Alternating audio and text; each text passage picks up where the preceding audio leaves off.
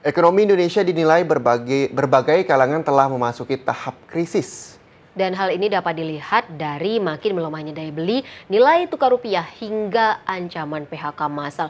Atas kondisi inilah Menteri Ketenagakerjaan akan menambah investasi di dunia perekonomian Indonesia.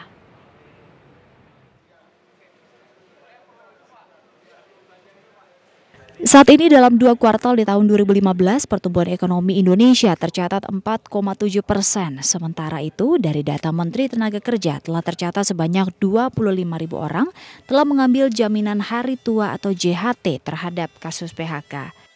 Ditemui saat menghadiri acara di Senayan, Jakarta Selatan minggu pagi, Menteri Ketenagakerjaan Hanif Dakiri menyatakan pihaknya akan memperbanyak pihak investasi sehingga mampu menambah lapangan pekerjaan.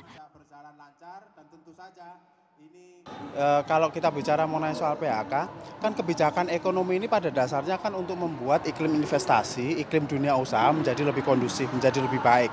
Artinya apa? Artinya bahwa dengan begitu maka dunia usaha bisa bertahan, bisa berkembang. Terus kemudian lapangan pekerjaan juga bisa meluas.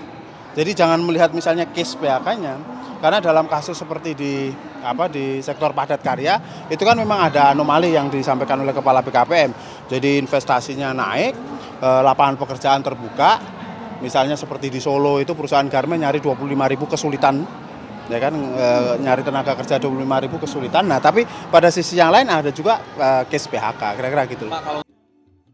Nantinya pihak Menaker juga akan menggunakan sistem formula untuk memberikan kepastian kepada para pekerja dalam hal kenaikan upah setiap tahunnya. Uh, tunggu aja waktunya, mudah-mudahan dalam waktu dekat. Tapi prinsipnya bahwa nanti penghitungan mengenai kenaikan upah itu, akan menggunakan sistem formula di mana tujuan utamanya adalah untuk memberikan kepastian. Kepastian kepada para pekerja dalam arti bahwa kenaikan upah akan terjadi setiap tahun dan kepastian kepada dunia usaha dalam arti bahwa besaran kenaikan upah setiap tahun itu terprediksi atau prediksi. Dari Jakarta, Muliza Kiki Rizky, MNC Media melaporkan.